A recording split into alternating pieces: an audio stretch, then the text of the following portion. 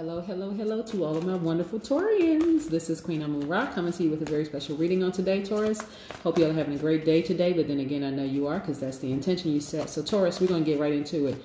It is a new moon. So, happy, happy, happy new moon. That means new you, new day, new everything.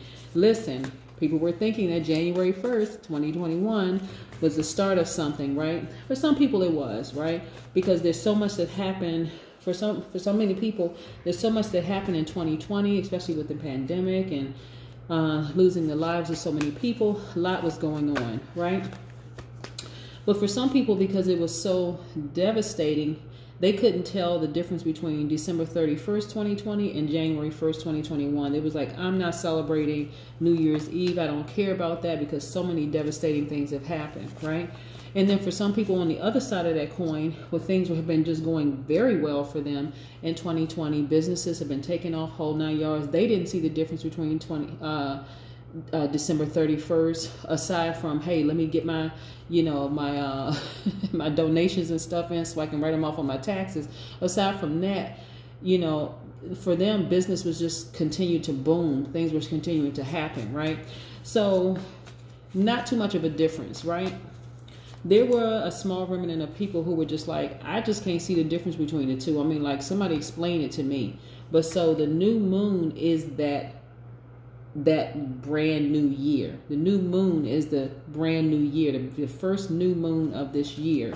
So not only that, we had um, Mercury is retrograde, so there's some some static when it comes to communication and the whole nine yards. Information coming through, and we're going to talk a little bit about that too. Plus, we're coming close to February 14th. I don't personally celebrate uh, Valentine's Day, but that's just me. if you need one day just to get all your whatever out, then I mean, like, what kind of relationship is that? But then, okay, again, that's just me. That is just me. People should be doing very kind things for people throughout the year. So let's get into your reading, right? Let's get into your reading. Most High God in the universe, please give me a special reading for my Taurus as it relates to every area of their lives, specifically in areas of power and intellect, money and wealth, creativity and emotions, and spirituality, and where they need to take action. What information do we have from our wonderful Taurians? Yes, yes, yes. What information do we have? Yes. Let's go. Let's go. All right, Taurus. Let's see. Let's see. Let's see. Let's see. let's see. Let's see. Let's see. Let's see. And we're going to be talking about the number 11. If I haven't already mentioned that, we're talking about the number 11. Not just because it's the 11th day, but just because when I wake up, hey, what number pops into my mind? And this master number 11 popped into my mind just like the last number was 99. So, yes, and I love numbers. So, and I like to share that information with you all. Let's put these cards down and see what the cards have to say. Uh-huh. Yes. Uh Y'all left all drama behind. I see. Yes. Anything that was just extra dramatic, you left it behind. I love it. Love it, love it, love it. Listen. Okay. Now, I want you to say this. One, I am a Taurus. I am logical. I am generous and trustworthy. I am very determined. I'm understanding. I'm organized. I am patient, right? I am patient. In order for a Taurus to leave this behind, like leave drama behind, you all have had to go through a whole bunch of stuff, right? But y'all dropped a whole bunch of drama off. See what these little light posts are? You were enlightened, enlightened, enlightened. Now it's just you, right? it's just you, me, myself, and I, right? I'm not talking about the people that's in a relationship. Those people, there are parts of you that you dropped off. You could have dropped off some friends, some family members, or whatever, but y'all know what I'm talking about, right? But at this point, this this represents not baggage. It represents wisdom and knowledge. Okay, you've learned a lot. Like I said, you are a Taurus. You're extremely patient, very logical, very reliable, patient, practical, devoted, responsible, stable. All those wonderful things, right? Yes also you will when i say logical signs um, um, you all have had to deal with some people who had a whole bunch of drama. When i say drama i'm talking about like they ended up these people were jealous of you. They had all kinds of internal conflict. They were trying to burn you but every single time they tried to burn you they ended up burning themselves taurus. Look at that. Yeah. But guess what? Everything that's done in the dark is exposed Everything that's done in the dark is exposed. Y'all had some friends around you who were just flat out freaking jealous. I'm just saying, just saying. Just saying. And guess how you found out? Brow chakra activated. See, okay. Taurus, because you all are very, very logical, it's like a, a boulder has to fall in order for you all to see, oh, shoot, that was the message that was trying to come. That's you, that's Capricorn, that's Virgo, right? Because you all are very logical. If it doesn't make sense to you, then it just doesn't make sense, right? Everybody around you could be saying this person is jealous of you. They don't have your best interest at heart. You're like, okay, I need to see it for myself, okay? But now you're starting to really look, listen to your intuition. This is your third eye wide open. Yes, that you had some people around you who were just flat out jealous. Look, and now you're great. You're feeling great about life. Ever since you walked away from that drama, you're feeling so much better, so much lighter, right? Yeah, you learned a lot on this long and arduous path. Look at this. Again, you had light along the way. You learned, you picked up a lot of wisdom and knowledge. Remember, I was saying here, this is you, but this is also you, right? yeah, you dropped off a lot of drama along the path and now you're traveling light, lighter, right? And so this person right here learned a lot along the way. Yeah. When I say pack light, they got on shorts. they got on shorts and a, shirt. Look, and look at this right here, the Ace of Cups. Okay, this person you had a lot of deep feelings for, but they just had too much going on. They really, really had way too much going on. And you said, you know what? I'm going to focus all that attention on me. I'm going to focus that love on me. Right. Let's talk about the number 11 for just a second. Because, like I said, it's a lot going on.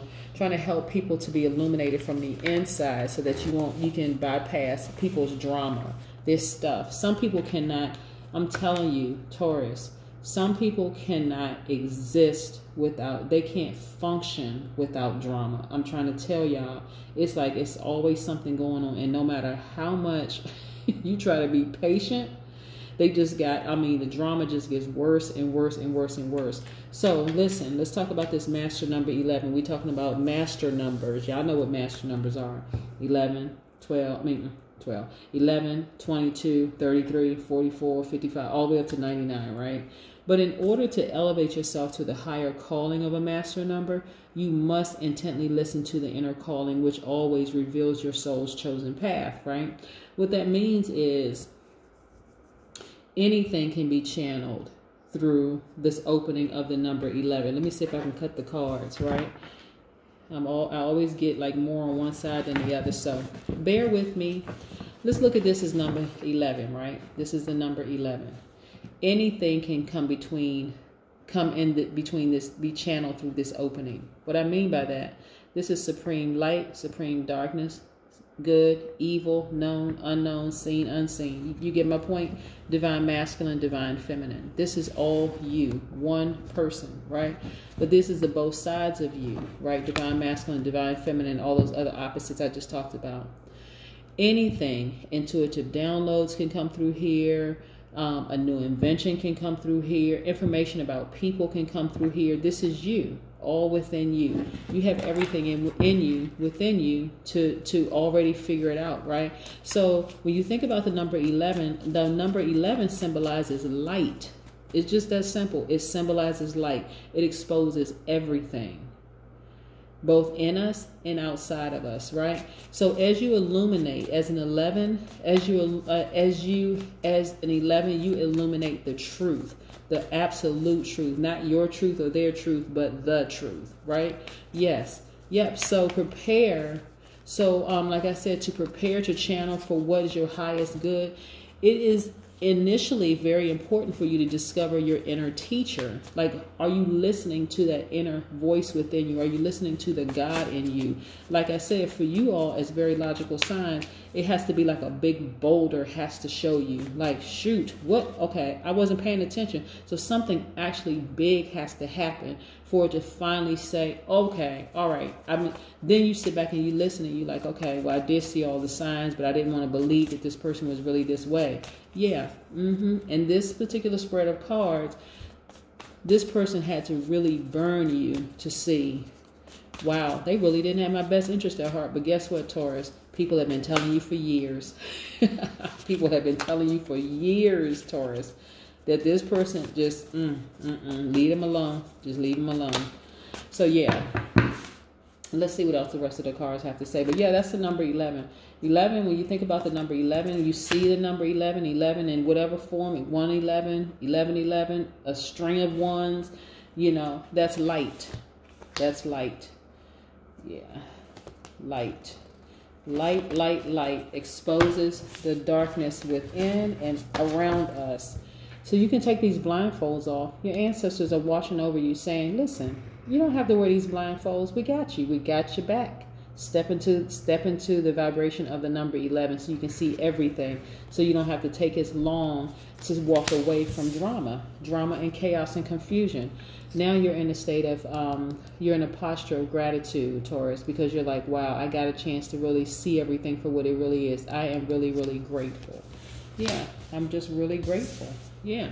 Here we have the Four of Pentacles. A lot of you all will be traveling because you're starting to be more um, conservative when it comes to your money, when it comes to your money.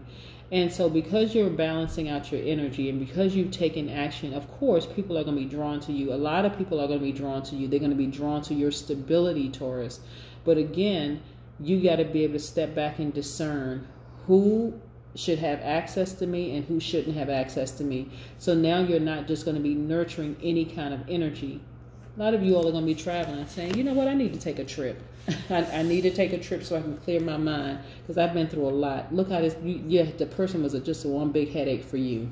But again, hear your ancestors. They all around you whispering in your ear saying, leave that person alone. You all are not compatible. You're not on the same frequency. Look at the bird telling. the bird is a snitch. the bird is telling everything. But again, our ancestors come in many different forms. It can come in the form of a dream, like a spirit can be hovering over your room where you just feel like all of a sudden, why am I thinking about this?